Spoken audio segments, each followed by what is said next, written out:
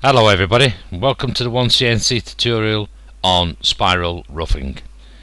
As you can see on the screen I've got myself a, a model and uh, got it in position.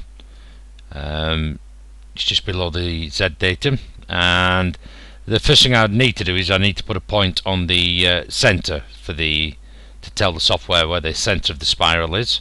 So I'm going to create myself a point on the middle so I'm going to go back home point coordinate 0, 0, 0 cancel now that creates me a point on the center also I'm going to extract this surface to give me an outside edge and an inside edge so I can use that as the boundary. Um, so if I go into um, extract the surface edge pick this surface and you can see it's extracted the inner and the outer um, because I'm going to use them as a boundary so if I open up the NC manager just lock them in position. And we'll go into create model toolpath like plane and Z level.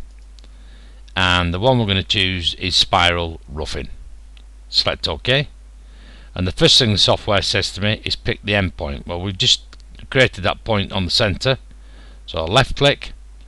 Um, I'm going to pick myself a 12 milli ball end. Accept tool number one speeds and feeds etc next 5 and 1 is my rapid position. Next I'm going to step over in 3 millicuts leave 0.5 on uh, surface tolerance 0.05 uh, uh, 2 millicuts and I want to climb mill select next I'm going to pick myself a boundary normal to the boundary. Select next uh, automatic offset.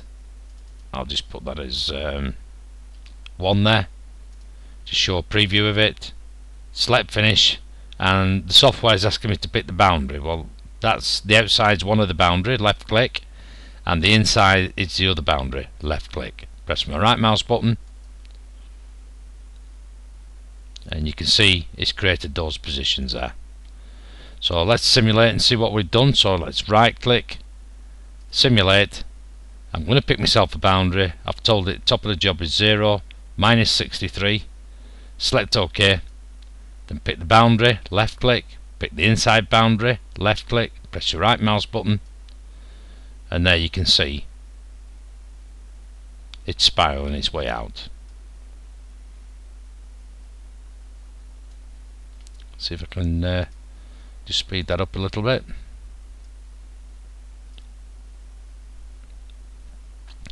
So you can see it's because I've told it there was some material on the top it's staying down and just spiraling outwards. But when it comes to these middle sections of course it's already cut that so it'll lift up and rough out them areas there.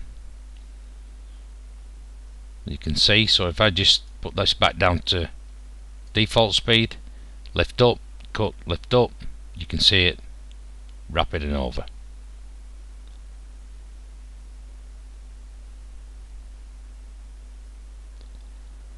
gradually spiraling out.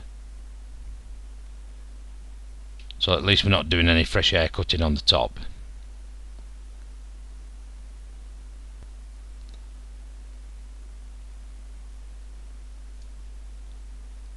You can see I've just uh, fast forwarded it a bit more. And it's just taking the peaks out the bottom there gradually spiraling out. And there you go. So if you want to do any spiral roughing in OneCNC this is how we do it. Hopefully that helps you get started and thank you for watching